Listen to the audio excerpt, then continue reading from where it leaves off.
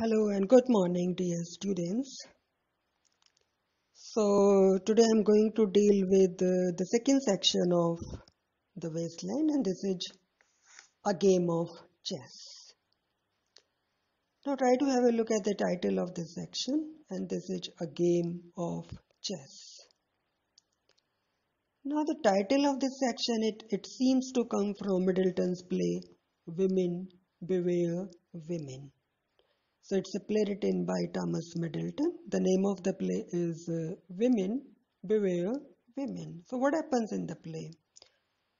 You know, in the play, uh, the mother-in-law is kept busy in a game of chess while the daughter-in-law is raped by the duke. So the title is coming from this, this play of Thomas Middleton where the mother-in-law is, is kept busy in a game of chess and the daughter-in-law is, is molested by the duke. Fine. So it shows the perversion of sexual values in the modern society. Uh, you know, sex, which has been the very source of life since the dawn of civilization, today it has become a matter of intrigue, Today it has become a matter of moves and counter moves between the two sexes, I mean between men and, and women. Right? So, you know, sex has been the very source of life. But uh, today this, this, you know, source of life, it has lost its spiritual significance.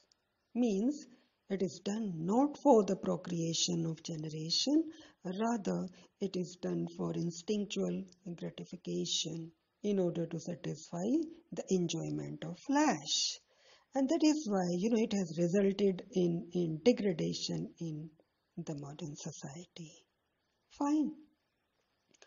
Now try to have a look at, at the section. I mean, just try to have a look at, at the text of the section and uh, uh, you'll find that, that it begins with the bedroom of a rich and fashionable lady. Fine. Then we find that uh, this lady, uh, she sat in a chair which is which is shining brightly like a throne decorated with jewels. Fine. Now this chair, I mean, it, it reminds us of Cleopatra in a barge on the river in Shakespeare's play Antony and Cleopatra. I mean, you can remember the very picture of Cleopatra who was sitting in her barge on the river in, you know, this play. Right? Then uh, a dressing table is also there in this room. And uh, this, this dressing table is also glowing very brightly. Then we have the looking glass also and this looking glass is, is held up by wooden pillars on which, you know, the pictures of vine creepers and cupids are carved. So a looking glass is also there and this is, this is held up by wooden pillars. Fine. And uh, on, on it you can find the pictures of vine creepers and, and you know, cupids. Fine.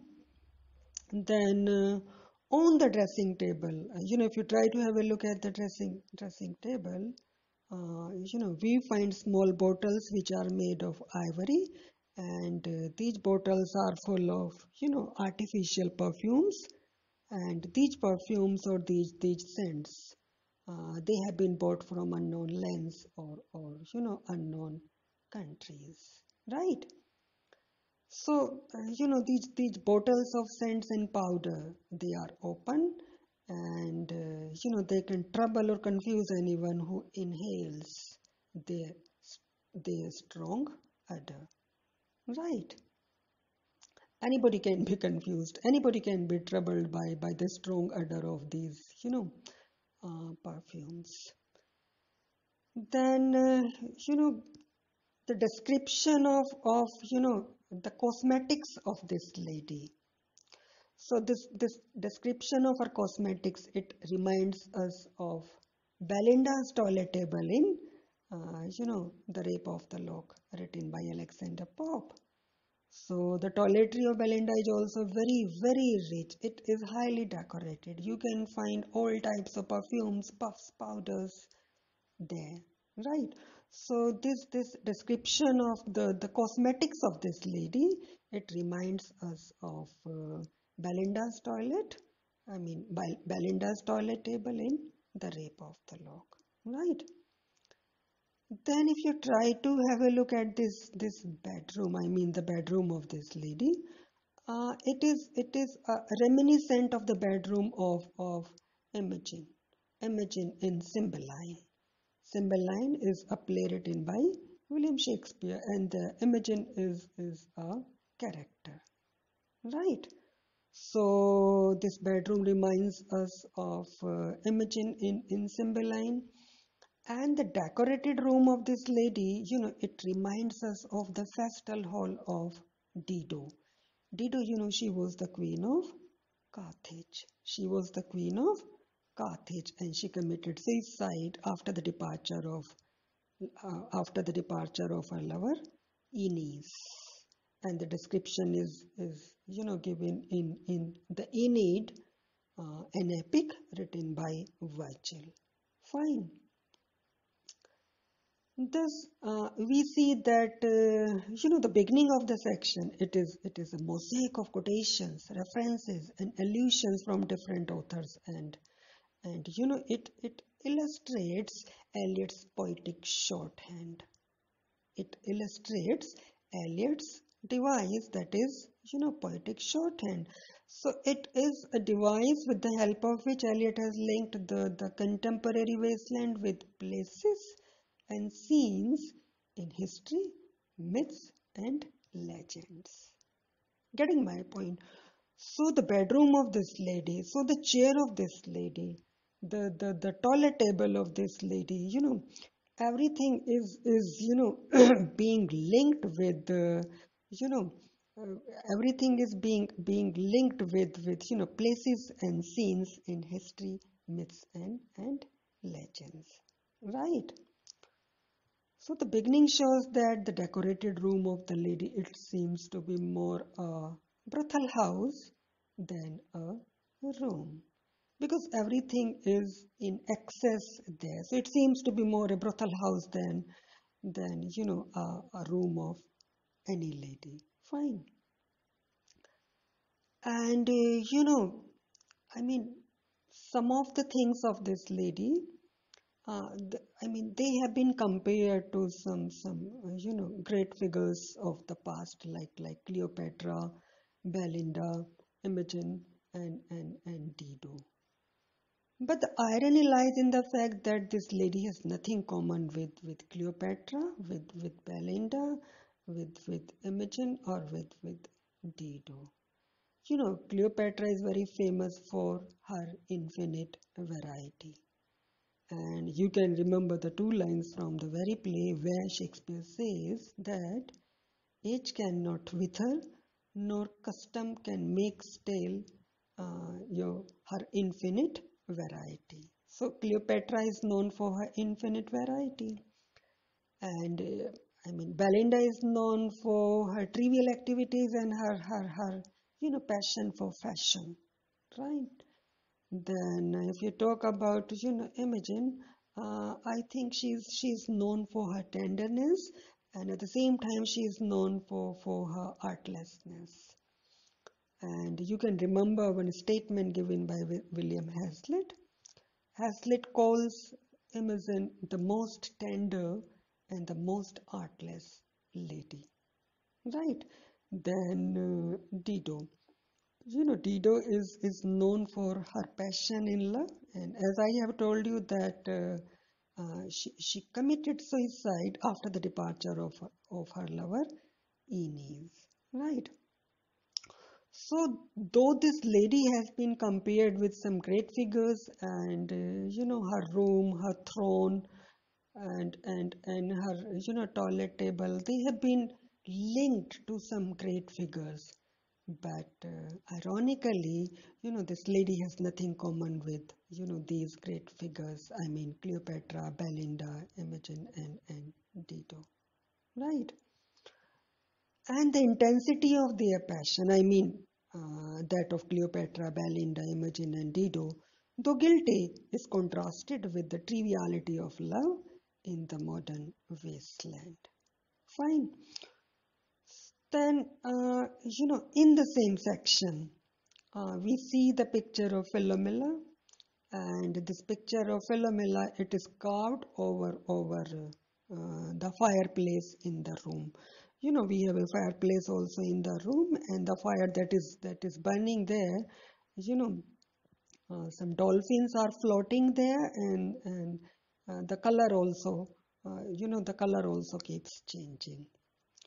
So let us talk about uh, Philomela. You know, uh, it's it's a Greek myth, and uh, you might have gone through it it while while reading. You know, Ode to a Nightingale written by John Keats. Anyways, I'm just repeating here.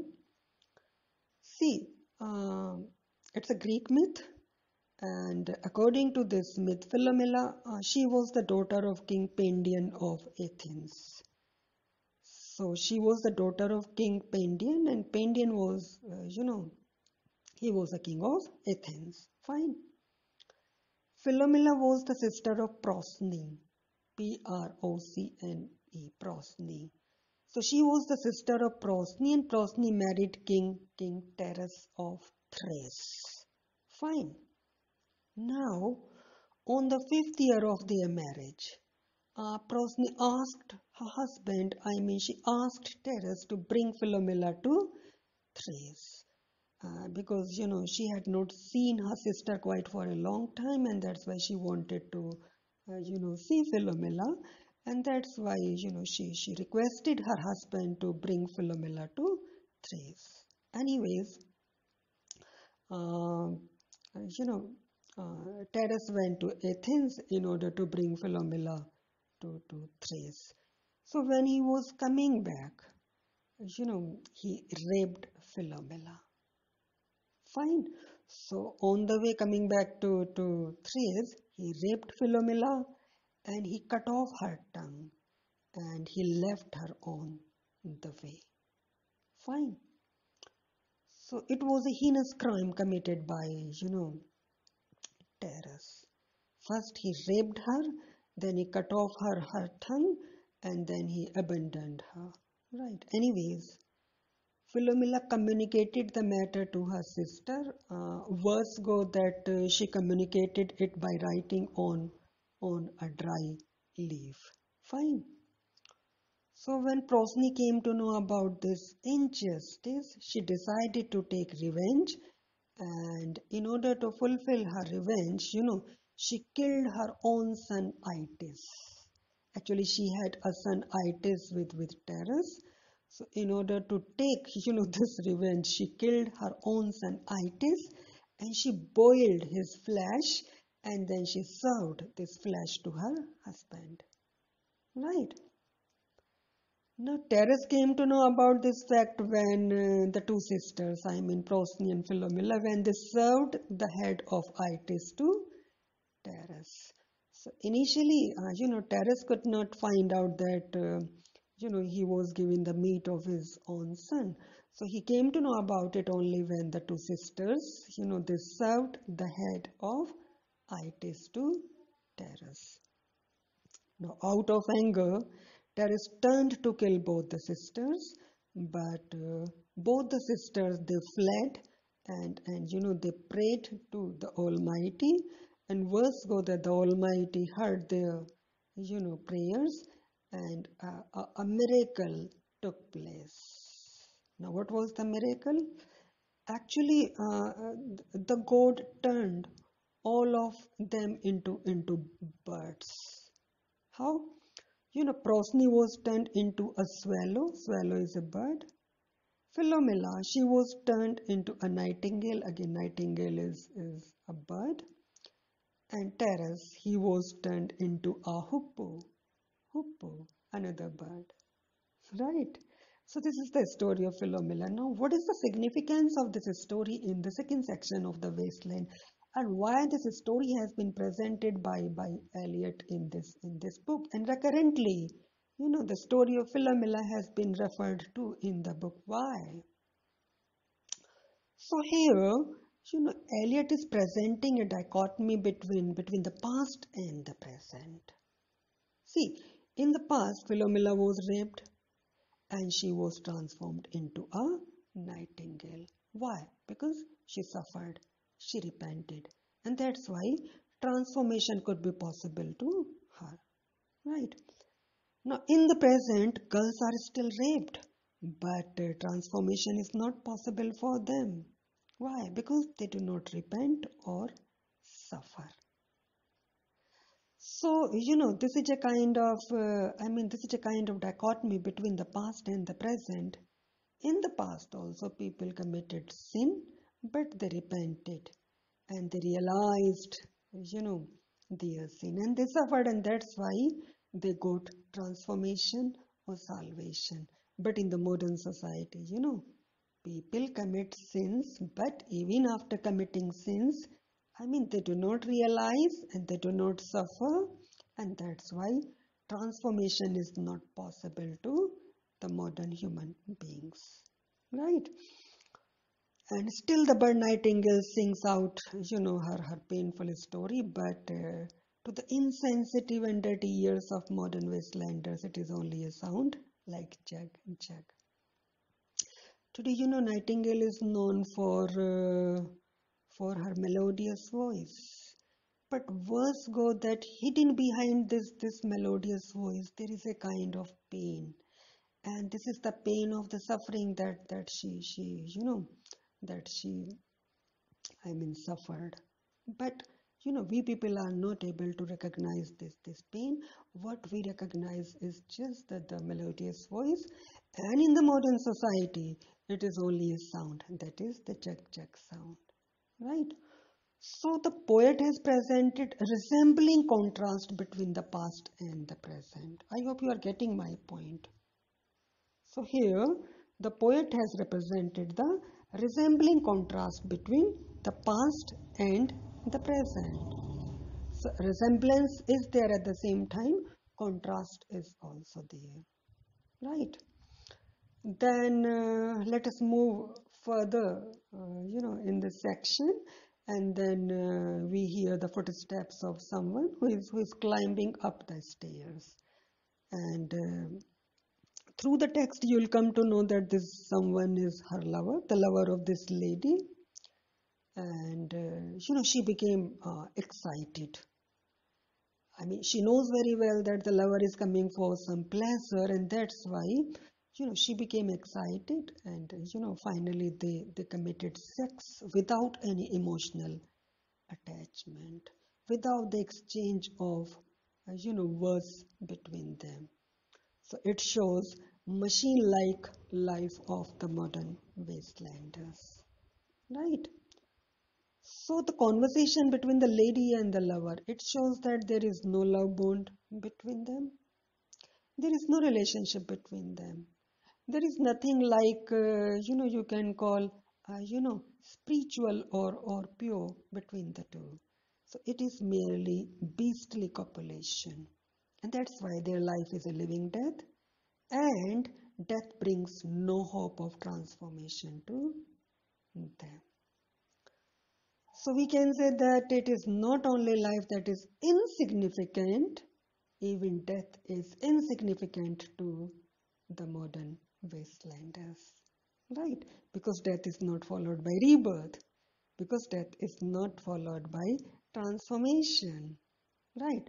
So to the modern human beings you know life is absolutely insignificant because you know they have nothing in their lives and uh, they do not wish for anything that is positive in their in their lives but their death is also insignificant.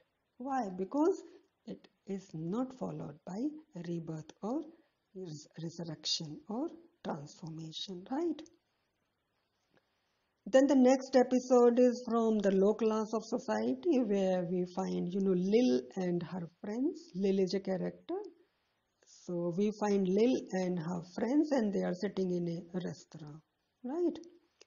So through their conversation, uh, we come to know that uh, Lil's husband, Albert, uh, he's coming he's coming back to home uh, after the war is over and one of the friends of Lil this friend is basically the speaker here. And this speaker tells her that uh, her husband is coming back. And you know she must maintain her beauty in order to attract her husband. So her husband is coming after four years. So she must maintain her beauty so that the husband could pass some some quality time you know with with her. Right? Now this conversation is a bit funny and hilarious because you know when this friend of lil asks her uh, what she did with the money that her husband gave uh, to her to buy a set of teeth. Actually lil lil has some some problem of teeth. So before his departure albert gave some money to lil in order to buy a set of teeth because without teeth uh, you know she looks very uh, you know she looks very ugly. Fine so here the conversation uh, becomes a bit bit funny. Is that clear? And uh, the friend of lil that is that is a speaker she she asks lil uh, what what she did with the money that that albert gave to her to buy a set of teeth. Fine. And finally this this friend of lil she clearly tells lil that if if she remains unable to attract her husband he may go to another lady he may go to another lady. So it shows again there is no bond between the husband and the wife. Fine. So the poet has depicted both the sections of the society, the rich section and, and you know the low section. Fine. But degradation is everywhere. Though there is a contrast in both the sections, but one thing is, you know, common and that is loss of values. Whether you talk about the upper class society or you talk about the lower class society, uh, you know, in both the societies, you find the loss of values, right? But I think the deeper contrast lies between the past and the present. How? In the past, at least, transformation was possible. Getting my point? In the past, at least, transformation was possible as a result of suffering but it is not possible in the present. You know, uh, Philomela, uh, she got transformation. Why? Because she suffered and she repented. But today in the modern society, this transformation is not possible. Fine. So to conclude the section, uh, again let me let me you know summarize it. You know, the section focuses on the failure of uh, sexual relationships in the modern society and it presents a contrast between, uh, you know, uh, two sections of life, life in a rich and magnificent, magnificent setting and life um, in the low and vulgar setting of a London pub. Fine. And we find that in both the classes, sex has become a matter of moves and counter moves between, between men and women. So this sexual perversion, it has become a common phenomenon in, in the modern society, right? And you know, even the voice of Nightingale, uh, that is not, uh, it is not that which, which filled the entire desert with inviolable voice. So to we people, I mean to the modern wastelanders, it is merely a jug jug sound, right? And further the theme of life in death it is, it is stated specifically in the conversation between you know the man and the woman i mean the woman and, and her lover. And if you remember if you go through the conversation you know there are some questions from the side of the female like uh, she asks i'm just just putting some questions before you. Uh, she asks uh, the lover are you alive or not is there nothing in your head? Why do you never speak? It means the lover never speaks. It means they commit sex even without changing a word. So there is no bond between the two and they, they are working just like just like machine. Insensitive people they have become and they are trying to fulfill themselves. I mean they are trying to, to satisfy their instinctual gratification. Right? And finally, you know, the lover answers, I think we are in Red Alley eh? where the dead men lost their bones. Fine. So there are three questions from the side of the woman like, are you alive or not? Is there nothing in your head? Why do you never speak? and just one just one answer is from the side of the lover and it is very illogical and irrelevant and very insignificant what is the answer he says i think we are in rats' alley where the dead men lost their bones. So there is no connection between the questions of you know the lady and the answer of this lover. So it shows that not only life but death of modern man is also without any significance fine? And uh, you know the section ends with the conversation of Lil and her friends about Albert and it, it also you know it also shows the hollowness and, and artificiality of the modern society. Thus the entire section it displays a vulgar game of sexual relations everywhere. I hope the section is clear to you and thank you. Good day